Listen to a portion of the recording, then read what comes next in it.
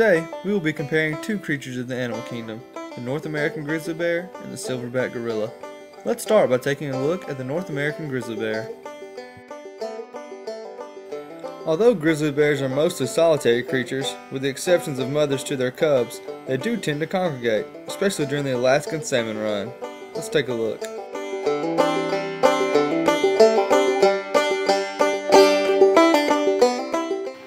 May seem like a losing battle for the salmon, but for everyone that gets caught, there are still hundreds making it by.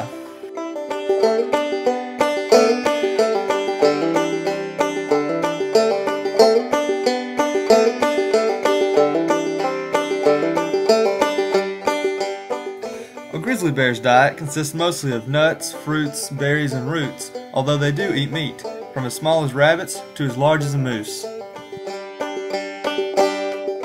Their physical characteristics consist of a lifespan of about 25 years, an average height of 5 to 8 feet, and an average weight of about 800 pounds. Their front paws only about 13 centimeters by 14 centimeters, with their hind paws being about 25 centimeters by 14 centimeters, not to mention their large claws. These bears have 42 teeth and are the only large mammal that regularly eats plants and meat.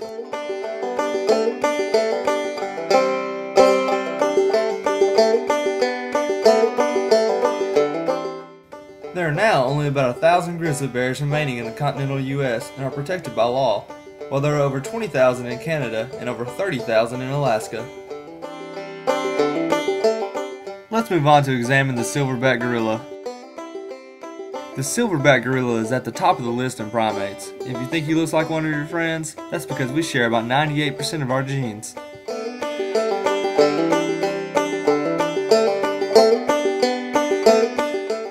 The silverback gorilla has exclusive feeding rights, rights to females, and mediates disputes. He also decides when the group eats, sleeps, and wakes up. Gorillas are mostly peaceful creatures, although brutal battles do break out between silverbacks in competition for groups of females. Here, the smaller male decided to flirt with the larger silverback's mate. This was not a good idea. Luckily, he got off with only a warning this time.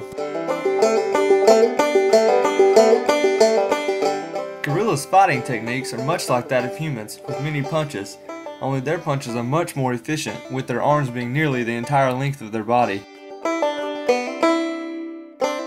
Here we have a baby gorilla enjoying its meal of fresh vegetation.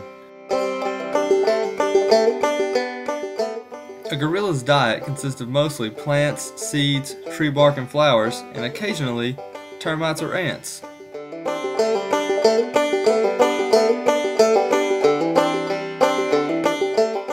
Gorillas rarely have to drink water because there is enough in their diet to sustain them. On two legs, gorillas stand about 5.5 feet tall and weigh between 3 and 400 pounds. They usually live to be about 35 years old in the wild. Gorilla's hands are much like that of our own, having five fingers, one being an opposable thumb, and five toes, one being an opposable big toe. This gives them a great advantage over the other animals.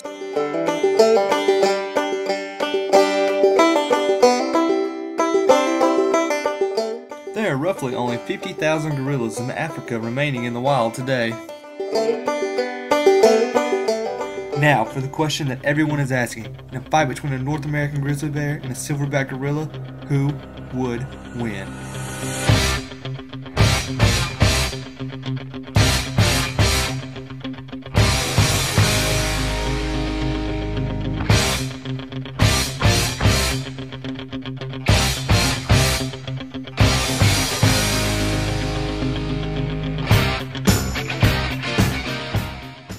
Let's see what kind of training each opponent is going through.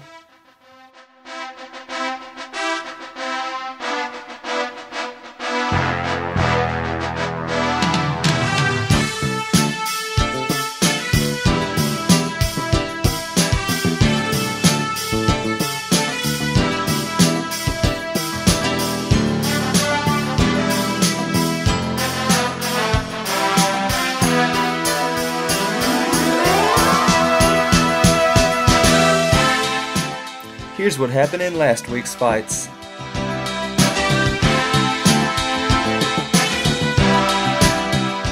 The bears really used those powerful jaws to subdue their opponent.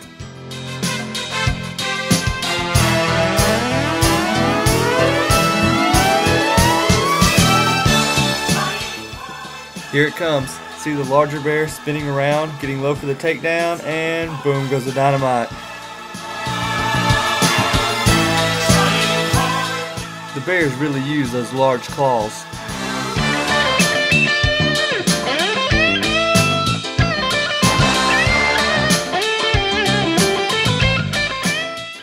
Here's the gorilla's fight, which I believe was more of a domestic dispute.